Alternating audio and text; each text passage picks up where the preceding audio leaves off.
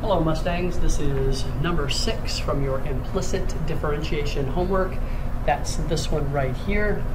Um, so I'll just rewrite this problem. So here's sine of x plus 2 cosine of 2y is equal to 1. So number 6 right there. The derivative of sine is cosine. So there's cosine x. And the derivative of this one, well, the 2, we don't need a product rule because it doesn't have a variable with it. So we just drag that right along.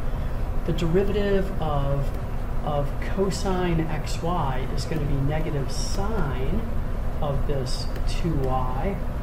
And then it times the derivative of the inside, which is going to be 2 dy dx. So all of that right there. And that equals 0. We just need to solve this for dy dx. Um, let's see, I'll just 2 times a negative times this 2 is going to give me a negative 4 sine of y, or sine of 2y rather. Let's go backwards just a little bit. Sine of 2y uh, dy dx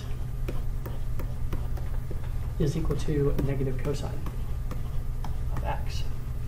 Then we'll just divide this is dy over dx is equal to, we've got negative cosine of x all over this negative 4 sine of 2y.